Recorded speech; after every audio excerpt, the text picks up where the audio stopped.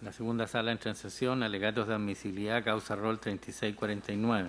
Requerimiento de inaplicabilidad por inconstitucionalidad presentado por Patricio Enrique Geldres Rodríguez respecto a los artículos 193, 205, 246, 252, 255, 277, 318, 330, inciso primero, 334, 351 y 352 del Código de Procedimiento Penal.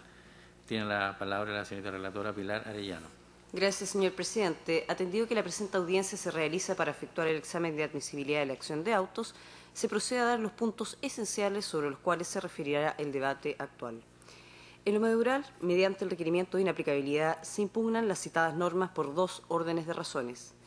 Se impugnan los artículos 193, 205, 252, 318, 330, inciso primero, 334 y 331 del Código de Procedimiento Penal, en tanto estas disposiciones permitieron al ministro en visita sustanciador, en la etapa de sumario, efectuar la toma de declaraciones y realizar diversos careos sin presencia del procesado ni de su abogado. A juicio del actor, su aplicación vulnera en síntesis el artículo 5, inciso segundo, y el artículo 19 en sus números 3 y 26 de la Constitución Política. Por otra parte, el actor impugna los artículos 246, 255, 277 y 252 del citado código, que viene a establecer, según indica, la medida de prisión preventiva como medida cautelar inmediata y automática, consecuencia de la dictación del auto de procesamiento. Estima que su aplicación vulnera el artículo 5, inciso segundo, y el artículo 19 en sus numerales 7 y 26, todos de la Constitución Política. En cuanto a las causales de inadmisibilidad que se presentarían en la especie, a juicio de las partes requeridas y partes del proceso pendiente, se pueden indicar dos, cuyo fundamento medular es el que se indica, mismo que debe ser desarrollado por, por los abogados de las partes ahora en estrados. En primer lugar, se configuraría la causal consistente en que las normas ya no resultan de aplicación decisiva. Primero, porque las referidas a la toma de declaraciones ya fueron aplicadas por el magistrado de la causa. A su vez, en lo relativo a la aplicación de las normas sobre la privación de libertad, el requerimiento, por lo que indica, resulta del todo inoportuno. Se adicionaría lo anterior el que no debe soslayarse que será en la etapa de plenario del proceso penal en la que se realizará el contradictorio y el análisis de las pruebas obtenidas. En segundo lugar, se presentaría la causal de inadmisibilidad consistente en la falta de fundamentación razonable del requerimiento, atendido que lo que en realidad se pretendería o se busca impugnar es un, completo, un sistema completo de normas, como también los principios de derecho internacional relacionados con las violaciones de derechos humanos. En cuanto puedo relatar, señor presidente. Gracias. Entonces, en primer lugar, por la parte requerente, alega el abogado Maximiliano Murat, hasta por 10 minutos. Tiene la palabra. Gracias, señor presidente. Con la venia de este excelentísimo tribunal, vengo en alegar en representación de don Patricio Geldes Rodríguez la presente cuestión de admisibilidad respecto al requerimiento ya señalado por la relatora, solicitando desde ya que sea admitido dicho requerimiento en razón a las siguientes consideraciones que paso a exponer a este excelentísimo tribunal. Cabe señalar que como no son debatidas aquellas causales estipuladas en el numerales 1 a 4 del artículo 84 de la ley que regula las causales de inadmisibilidad, eh, no me referiré a ellas porque no hay discusión alguna a su respecto. En relación a la causal número 5 del artículo 84 de la Ley Orgánica Constitucional que regula el Tribunal Constitucional, es decir, que que el precepto legal impugnado haya de tener aplicación en la gestión pendiente o ella no resulte decisiva en la resolución del asunto, cabe hacer las siguientes precisiones. Respecto a los artículos 246, 252, 55 y 77 del Código de Procedimiento Penal, que dicen relación con la prisión preventiva automática que ha sido objeto don Patricio Geldres en la causa ROL 7 de 2017, sustanciada por el ministro de Fuero, el señor Carlos Aldana, cabe refutar lo sostenido por mis contradictores en el sentido de que sí se encuentra actualmente en prisión preventiva, Dicha prisión preventiva ha sido decretada de manera inmediata y automática al momento de dictarse el auto de procesamiento, en este caso el 24 de mayo del año 2017, que dicha medida no ha sido revocada por la ilustrísima Corte de Apelaciones de Concepción, eh, que revisó la medida cautelar respecto a otro de los procesados en la causa rol ingreso de Corte de Concepción 150 y 2017. Por lo tanto, en ese orden de cosas, eh, mi representado se encuentra en prisión preventiva y la aplicación de dichas normas le han ocasionado dicho estatus procesal. Ahora la pregunta es, si uno solicita la libertad provisional del representado sin tener claridad respecto a la constitucionalidad de este tipo de normas, es una desventaja abierta al derecho a la defensa. Y además, dichas normas pueden, ser, pueden volver a ser aplicadas en cualquier momento, sea porque se revoca el auto de procesamiento en razón a ciertos antecedentes y posteriormente en razón a otros nuevos antecedentes se podría volver a procesar por los mismos hechos a mi patrocinado y nuevamente podrían aplicársele entonces la prisión automática preventiva o llanamente porque respecto a la investigación penal podría abrirse otra lista en la cual respecto a esos mismos hechos se le podría volver a procesar y lógicamente volver a aplicarse de manera automática dichos preceptos. Cabe tener en consideración respecto a esto que la Corte Interamericana de Derechos Humanos ya se ha pronunciado a su respecto estableciendo la ilegalidad de la prisión automática en respecto a la prisión preventiva.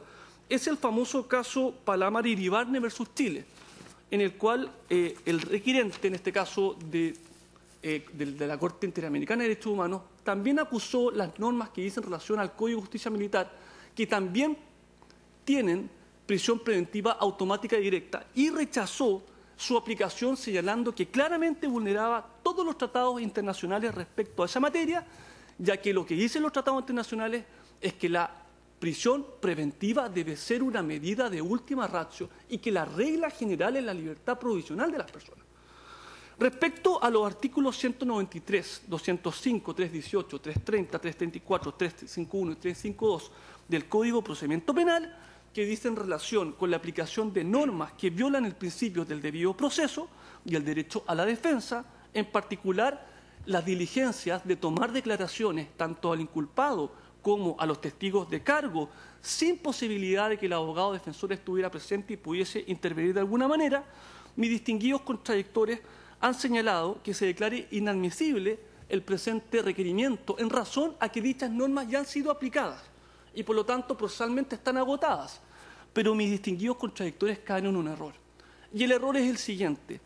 Siempre en etapa de sumario, y esa es la etapa procesal en la cual está la causa penal objeto del requerimiento sumario, se puede volver a tomar declaraciones al inculpado tantas veces sea necesaria, como también se pueden volver a tomar declaraciones a los mismos testigos que ya han declarado si es necesario, sea para profundizar o aclarar algún hecho de la causa, o sea porque a partir de nuevos antecedentes de la investigación se requiere una nueva declaración de dichos testigos.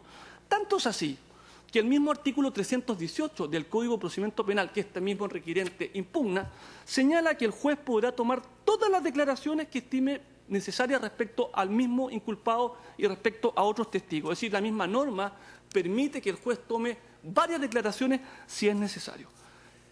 Arregló seguido, la misma contraparte ha acompañado en sus observaciones de admisibilidad una serie de antecedentes que es en relación con las veces que han declarado los testigos de cargo en el proceso. Y si uno se, atañe a ese tipo de cosas, por ejemplo, mi representado ha declarado dos veces, otros testigos de cargo han declarado tres veces. Por lo tanto, es habitual que a medida que va avanzando la investigación se le puedan volver a interrogar a esos mismos testigos de cargo o al mismo inculpado respecto a los hechos que van acaeciendo en la causa. Por lo tanto, claramente pueden volver a aplicarse estas normas, puesto que pueden volver a tomarse diligencia a ellos mismos o a otros testigos de cargo respecto a la averiguación del hecho punible o incluso a la averiguación de la participación penal de las personas que están siendo procesadas en dicho evento. Incluso, incluso en este tipo de causas se han visto situaciones tan excepcionales como que se ha cerrado la investigación, se ha dictado acusación, se ha condenado en instancia a las personas eh, que, se han determinado como culpables y se han reabierto las investigaciones a etapa de sumario. Eso ha ocurrido muchas veces en este tipo de causas. Por lo tanto, no es raro que exista la posibilidad cierta de que esas normas se vuelvan a aplicar de esta misma manera.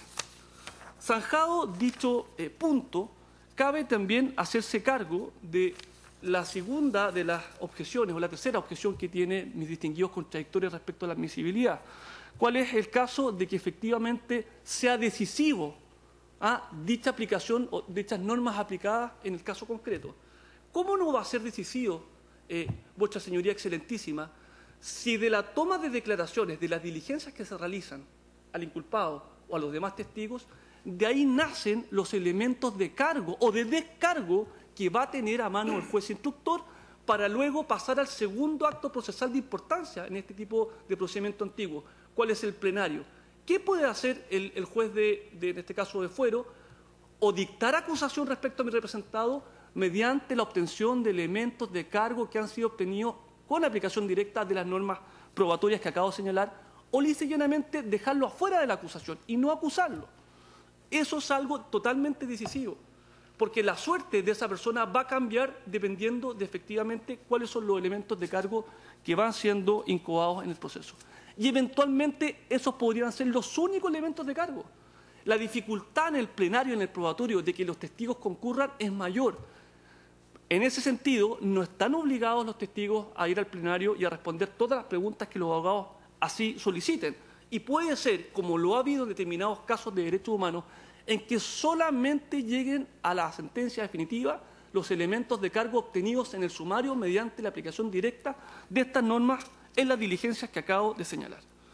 Eh, siguiendo la misma línea, mis distinguidos contradictores han planteado también como un hecho que admita ser eh, cuestionado respecto a la admisibilidad de que efectivamente eh, uno está tratando como abogado de objetar un sistema universal y abstracto. Eso no es así.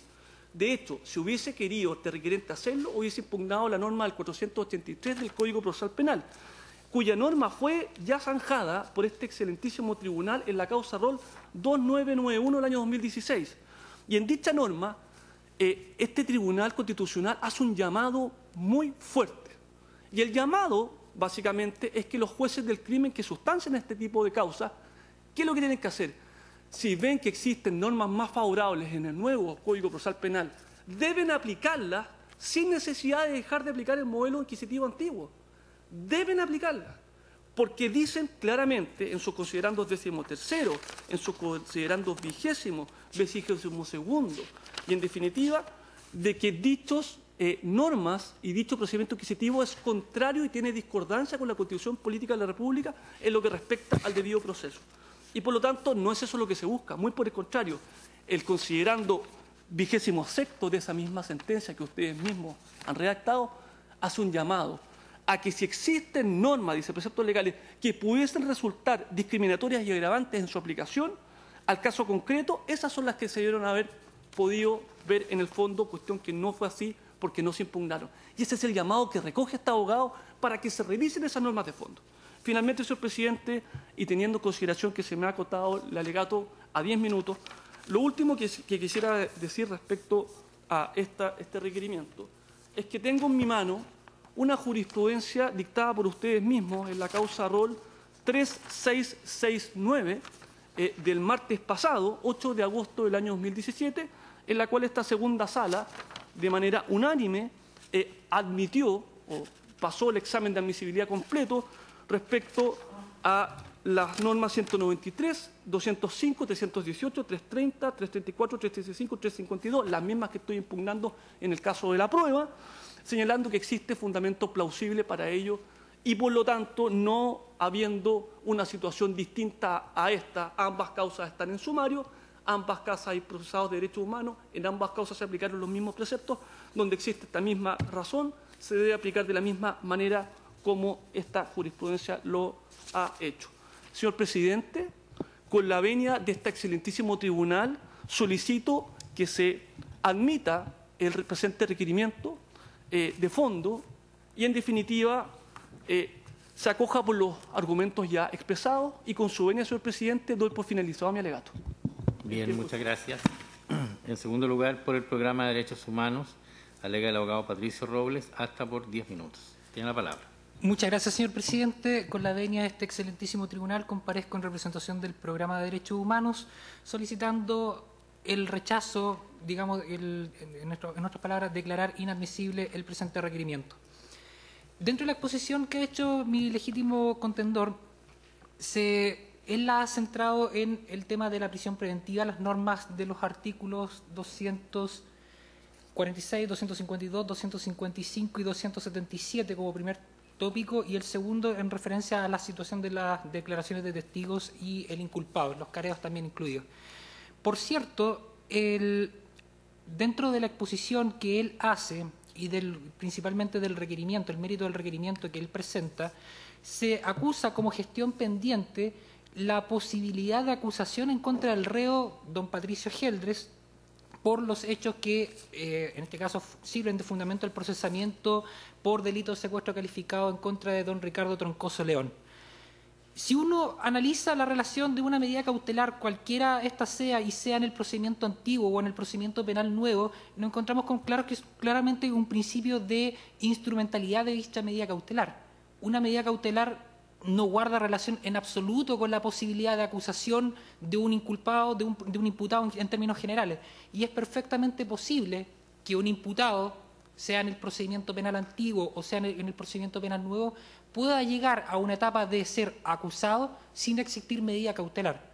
Por lo tanto, en referencia a los artículos 246, 252, 255 y 277, resulta ser bastante prístino para que se tenga en cuenta por parte de este excelentísimo tribunal que las normas no tienen ninguna aplicación en relación a la gestión pendiente, a lo que el requirente dice que es gestión pendiente.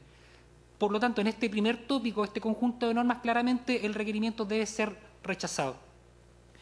El segundo tópico de normas es el relativo a las declaraciones de testigos e inculpados. 193, 205, 318, 330, inciso primero, 334, 351 y 352, todo del Código de Procedimiento Penal. Me quiero detener en, también en el tema de lo que es la generalidad de los procedimientos penales. Los procedimientos penales guardan relación con los principios de congruencia. La congruencia como una función de garantía para todo imputado, en términos generales también esa expresión, sobre la base de una correspondencia entre los hechos formulados, los hechos eh, acusados o que se van a acusar y los hechos que en definitiva están configurados en una sentencia condenatoria. Para llegar a el evento de la formulación de cargos, obviamente, y lo que ellos acusan también como una gestión pendiente, la posible acusación, previamente estamos con la etapa de procesamiento. Y el procesamiento, que es el de 24 de mayo recién pasado, en el considerando tercero, resulta ser bastante claro el señor ministro instructor de la causa en indicar que, no obstante la negativa del señor Geldres Rodríguez, existen elementos de juicio que permiten configurar presunciones fundadas de participación y los va enumerando en el motivo tercero de dicha resolución. Es decir, un procesamiento que es el antecedente de la gestión pendiente a acusación está en directa relación no con las normas que el, requirente impugna, está en relación con el ejercicio de una actividad procesal, de una actividad de razonamiento que hace el señor ministro, la actividad de presumir el artículo 488 del Código de Procedimiento Penal, para finalmente procesar para finalmente en un futuro acusar. Nos parece que en este caso claramente no se trata como o el requirente lo tiende a confundir, un procesamiento o una acusación no es en definitiva el vertir los antecedentes o el vertir las declaraciones cuestionadas para eh, sustentar el mérito de esta acusación, el mérito del procesamiento.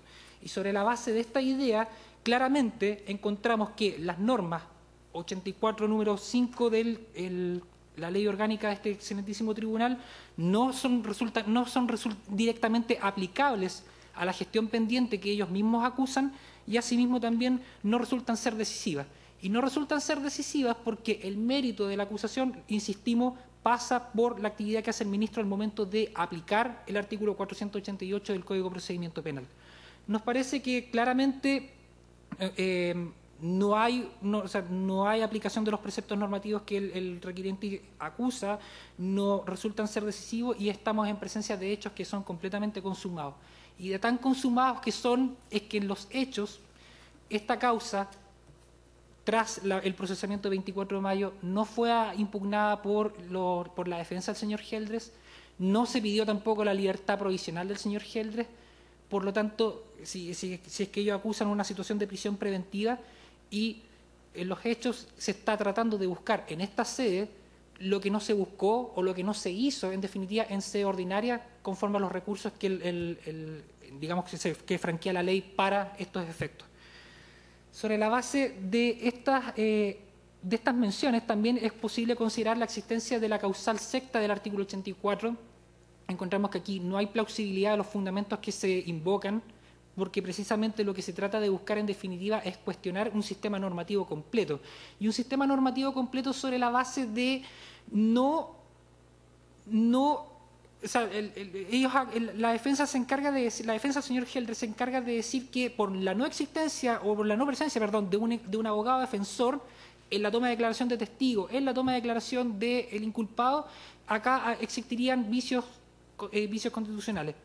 Lo cierto es que por lo menos referencia, en referencia a los testigos, ni en el sistema antiguo ni en el sistema nuevo, valga tener referencia al artículo 190 del actual Código Procesal Penal, se contempla que para los testigos de cargo tenga que haber, tenga que haber un abogado defensor viendo la actividad de investigación que realiza el Ministerio Público. Y en el caso de la situación del inculpado, en particular, de, la situación de, la no presencia de defensor en la declaración del inculpado, lo cierto es que también el, título referente a las declaraciones del inculpado en el Código Procedimiento Penal guarda completa, guarda, guarda completa eh, un, completo, eh, eh, digamos, conjunto normativo que precisamente tiende a evitar arbitrariedades en perjuicio del imputado. De tan así que la declaración, cuando se habla de dirección de la declaración, es la dirección que tiene todo juez en cualquier debate, tan así que el imputado puede prestar declaración, el inculpado puede prestar declaración las veces que estime pertinente, tal así que no se le toma, eh, no se le toma juramento, por lo tanto se mantienen las formas tanto antiguas y tanto actuales en el sentido de lo que implica la declaración de un imputado propiamente tal. Asimismo, acá claramente se hace alusión a que em, digamos, dentro de la falta de fundamento plausible, se hace alusión, o sea, se, hace, se olvida el requiriente de la actividad o de la actividad legislativa que o la orden legislativa que pesa sobre el Estado de Chile de agotar las investigaciones en forma completa y el juzgamiento para los casos de, eh, que configuran delitos de, en contra de los derechos humanos, delitos de lesa humanidad, como es el caso. Por lo tanto, eh, señoría excelentísima, y no eh, teniendo más ánimo de alargarme en, los, en, la, presente exposición, que por cierto está contenida claramente en, los, en, la respuesta que dio el programa de derechos humanos, principalmente por hechos consumados, porque no existe aplicación normativa de los, de los preceptos que se acusan. Nos parece que este requerimiento debe ser rechazado, debe ser declarado inadmisible y ordenarse seguir el procedimiento en forma normal y ordinaria en los tribunales en el tribunal correspondiente. Esto, Excelencia. Bien, muchas gracias. Finalmente, por la parte querellante en la causa, eh, alega la abogada Patricia Parra hasta por diez minutos. Tiene la palabra. Con la venia de su señoría excelentísima y de este excelentísimo tribunal, doy inicio a mi alegato en acción de inaplicabilidad eh, por inconstitucional deducida por el encartado Patricio Gel Rodríguez en representación de doña Maritza Troncoso Sánchez y doña Viviana Troncoso Sánchez, hijas de don Ricardo Troncoso León, fotógrafo, director teatral, reportero gráfico de la revista Bea, quien el primero de octubre del año 1973 fue detenido en su domicilio ante la presencia de su cónyuge y de su pequeña hija de tan solo dos años por funcionarios de eh, la eh, segunda comisaría de carabineros de la ciudad de Chillán, eh, al mando del entonces teniente, hoy reo, Gelder Rodríguez, conducido hasta las dependencias de esa unidad policial, fecha y lugar desde el cual se pierde toda noticia de su paradero o existencia, no obstante los esfuerzos de su familia por, y de los tribunales de justicia por establecer cuál es hoy día su paradero y solicito a este excelentísimo tribunal tenga bien declarar inadmisible esta presente acción de inaplicabilidad fundado en los siguientes antecedentes que paso en señalar, excelentísimo tribunal. Quisiera, en honor al tiempo, también hacer alusión muy sucintamente a las argumentaciones que ha planteado acá la defensa del encartado tantas veces individualizado. Y quisiera referirme a la alusión, pero reiterativa, que hace en el cuerpo de su presentación de 5 de julio respecto a la conculcación de su derecho a la libertad provisional. Conforme esta parte acompañó en el eh, escrito de traslado eh, formulado por este tribunal, es un hecho de la causa que el señor Patricio Gelder Rodríguez hoy día se encuentra cumpliendo condena en calidad de reo rematado en el centro penitenciario de Punta Peuco por la, eh, la desaparición, el secuestro calificado de don Luis Ibarra Durán, hecho acaecido el 23 de septiembre del año 1973 y además se encuentra en calidad de reo rematado por el secuestro calificado de don Sergio Cádiz Cortés y don Gilberto Pino Baeza, hecho ocurrido el primero de octubre del año 1973, todos en la provincia de Ñuble. Entonces, él latamente, ¿no es cierto?, plantea la conculcación de sus derechos, plantea, ¿no es cierto?, de que aquí eh, se habría privado injustamente a su representado de, la, de la libertad y, si me permite, su señoría excelentísima, poder solamente hacer referencia a las inconsistencias que se plantean en el mismo cuerpo de ese escrito. En el punto 7, excelentísimo tribunal, en el párrafo o acápite primero del escrito, plantea que con fecha 2 de mayo del año el ministro se aboca al conocimiento y con fecha 24 de mayo, ¿no es cierto?, dispone el ingreso de mi representado a un centro de cumplimiento penitenciario en régimen de prisión preventiva, la cual se mantiene hasta la fecha. O sea, el ministro ordena el ingreso. Después plantea, ¿no es cierto?, en el punto 13 del mismo, del acápite segundo, que además dice que ha de ser presente que mi representado se encuentra actualmente en régimen de prisión preventiva y cuya aplicación se continúa prolongando, produciendo un resultado concreto altamente inconstitucional. Y dice que está en prisión preventiva, desde el punto de vista de que su derecho a la libertad personal ha sido conculcado. Pero, sin embargo, absolutamente inconsistente, en el numeral 17 del acápite tercero, reconoce que el reo Gil Rodríguez se encuentra condenado. Hoy día cumpliendo condena por los ilícitos ya mencionados. Entonces, dice, el mismo modo se evidencia que en el caso concreto, como la libertad de remes, pudiera constituir un peligro para la, para la seguridad del ofendido de la sociedad. Y uno se pregunta, ¿cómo? Dice, aquí hay informes de gendarmería, su custodio plantea, ¿no es cierto?, donde dan cuenta que él tendría un comportamiento al interior de esa unidad penitenciaria que eh, daría lugar a las sucesivas, ¿no es cierto?, eh, solicitudes que ha planteado para, para poder tener la libertad y le ha sido negada por la excelentísima Corte Suprema. Entonces, su señoría, durante todo el cuerpo, en los distintos acápites, primero, segundo, tercero, cuarto de la, su presentación de 5 de octubre, o sea, de 5 de julio, razona sobre la supuesta conculcación del derecho a la libertad previsional, insistiendo esta parte querellante, es que es un reo rematado. ¿Ya? Un segundo aspecto, ilustrísimo, excelentísimo tribunal, dice relación ¿ya? con los testigos. Eh, la conculcación de las normativas en materia de establecida en el Código de Procedimiento Penal en relación a las declaraciones que se toman a todas aquellas personas que sepan o no de los hechos, o sea, que sepan de los hechos en materia de la investigación y en el caso de la indagatoria que se le pueda tomar al inculpado. En ese sentido, su señoría, esta parte no puede sino decir que esa normativa en materia de testigos no es en absoluto una normativa que sea decisorialitis. El, Código de Procedimiento Penal, su señoría, en ese sentido es claro en establecer a partir del artículo 415 y siguiente, título cuarto del libro segundo del Código de Procedimiento, es aquel que regula la prueba y la manera de apreciarla en la etapa del plenario. Y en esa etapa del plenario, como muy bien lo eh, eh, lo sabe este excelentísimo tribunal, ¿no es cierto?, es una etapa eminentemente contradictoria, específicamente como lo establece el artículo 466 de ese cuerpo normativo.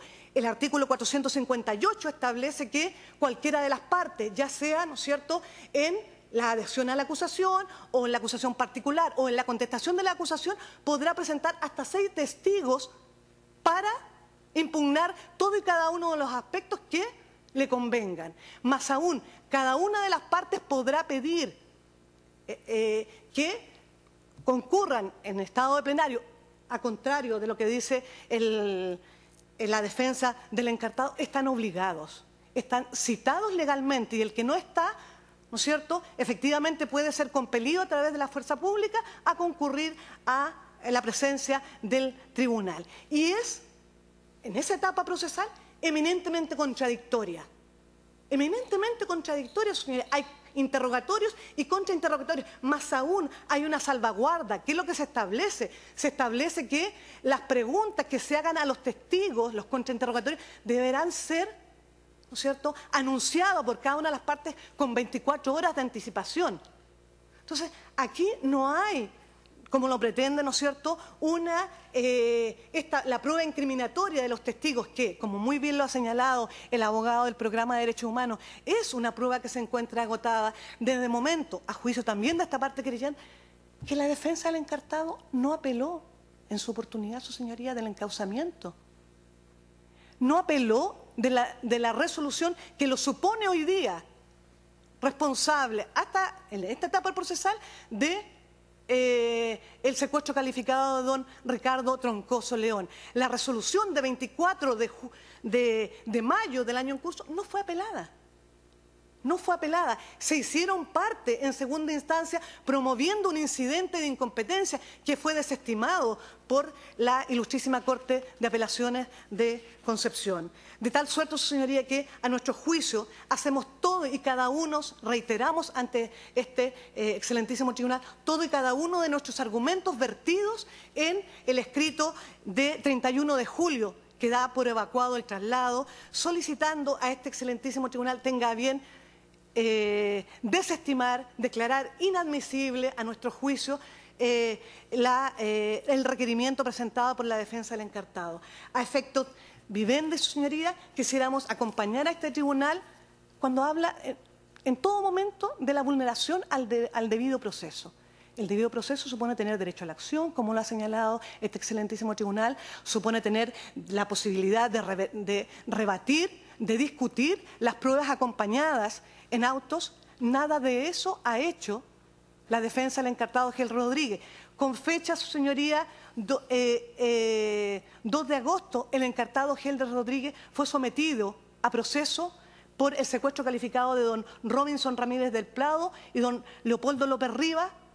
Se le notificó personalmente, no apeló del auto de proceso con fecha 2 de agosto, el excelentísimo tribunal se le sometió a proceso como autor del secuestro calificado de don Arturo Prat Martí y don eh, Gregorio Retamal, y por el homicidio calificado de la persona de Patricio Weissel Pérez, tampoco apeló del auto de proceso, su señoría. acompaño efectos videntes, como certificación de la secretaria subrogante de la Corte de Apelaciones de Concepción, que señala de que no se apeló del encauzamiento que fue sometido. Entonces, a juicio de esta parte, si me permite solamente 30 segundos, su señoría, más que, ¿no es cierto?, una, un cuestionamiento, más que una pugna, más que una contradicción abierta, clara y directa entre determinadas normas legales, el excelentísimo tribunal, y la constitución política del Estado, lo que hay aquí veladamente de parte de la defensa del encartado, ¿no es cierto?, es un cuestionamiento a un encauzamiento respecto del cual no ejerció los derechos que las normas legales le permiten. Hay aquí un cuestionamiento, ¿cierto?, a un eh, sistema procesal penal que cumple a juicio de esta parte contribuyente con todas las garantías. El señor Gil Rodríguez es desde el 6 de agosto desde 6 de julio, disculpe, del año 2004, tiene la calidad de inculpado, su señoría. Y por lo tanto, nunca en estos 13 años ha ejercido ningún, no ha presentado ningún escrito en esta causa que pretenda desvirtuar la imputabilidad que pesa sobre él, los testimonios que los indican como autor del ilícito, no ha hecho ninguna gestión que permita entonces eh, velar por eh, que su derecho al debido proceso sea resguardado por nuestros tribunales de justicia. Atendido esto, pido a este excelentísimo tribunal tenga bien declarar, no declarar admisible esto, declararlo inadmisible por ser, ¿no es cierto?, por no reunirse la especie las exigencias que establecen el artículo 84, el número 5 y 6 de la Ley Orgánica Constitucional de este Tribunal y además en este acto pido se deje sin efecto para cualquier evento la medida cautelar que la medida cautelar decretada, ¿no es cierto?, de suspensión del procedimiento decretada en estos autos, eh, toda vez que atendido los antecedentes que se argumentó en nuestra presentación de 31, no se dan ninguno de los requisitos para ello. Muy amables. Muy bien, muchas gracias. ¿Alguna pregunta, señor ministro? No, muy bien. ¿Concluye, ministro García? Tengo una pregunta para, para los que para la intervención específica sobre la regla de, privación de libertad. Él, según nuestro documento, nuestro proceso, tiene 12 condenas a 5 años y un día. Eso es lo correcto, ¿no es cierto? ¿Cuánto, eh, ¿Cuándo concluyen eh, la aplicación de esas condenas? A cualquiera de los intervinientes.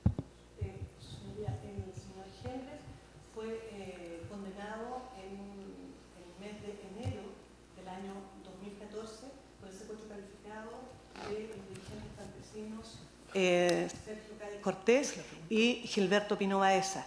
Y eh, en el año 2016 se dictó a su respecto, en marzo del año 2016, sentencia condenatoria respecto de eh, la desaparición, secuestro calificado del dirigente poblacional don Luis Ibarra Durán y se le imputó como pena única, o sea, se le, por lo tanto, él debiera, ¿no cierto?, cumplir condena 2014 en el año 2019. ¿Tiene la palabra? Su señoría, excelentísima. Eh, efectivamente, hay una pena unificada, ese es el punto, cinco años y un día, eh, cuyo cumplimiento, según tengo entendido, incluyendo la reducción de condena que tiene, seis meses de reducción de condena, es eh, a fines del año 2018. Ya, a fin del próximo año. Claro, porque él tiene dos periodos de reducción de condena. Ministro Betelier. ¿Está en sumario todavía esta causa? Sí. Ya, y lo segundo, los autos de procesamiento que usted nos señala de ahora de agosto, ¿son en esta misma causa? No. No, su señoría, son en la, si me permite, en la eh, causa eh, de, eh, en la persona de don Robinson Ramírez del Prado y don Leopoldo López Rivas, es en la causa 11-2017. Y el secuestro calificado de don Arturo Prat y don José Gregorio Retamal, eh, y el homicidio calificado en Patricio Weissel, la causa 9-2017.